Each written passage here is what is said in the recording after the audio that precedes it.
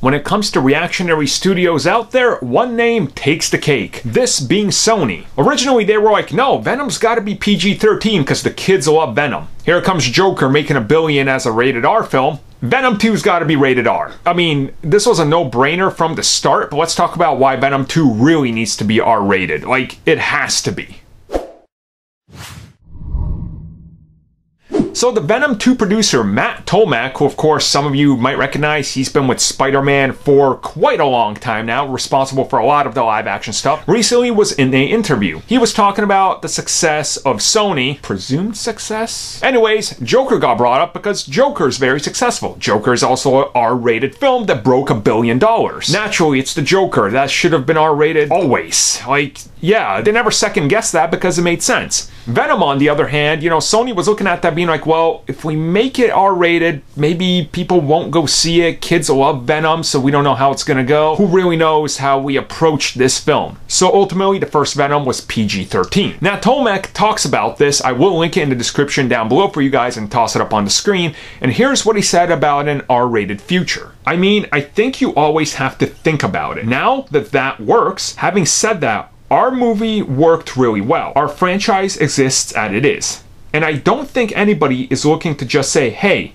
they did it, we have a place in that world. So it isn't like suddenly everybody's considering what to do with the rating. I think what Joker does is tell you that you can succeed. Now, this goes off some uh, back and forth that was happening in the last um, couple months, really. Recently, Avi Arad, the producer, you know, Crazy Uncle Avi, he said, no, it's gonna stay PG 13 because they want to move Venom merchandise and appeal to a wider audience. Now, he's not directly saying no, and if you read between the lines, I think they're gonna have that discussion again. Again, you're introducing Carnage into Venom 2. Carnage into Venom 2. How much carnage can you have with PG 13. I see the same people that are hating on the MCU that are soon going to introduce Blade and Moon Knight and Ghost Rider into a PG 13 Disney Plus world saying that Venom should absolutely stay PG 13 along with Carnage because it works. But Carnage is literally more violent than those characters combined, so I'm kind of at a loss for words, and I'm guessing they're probably thinking about it, looking at it realistically, and they're going to do some testing and see how the audience responds.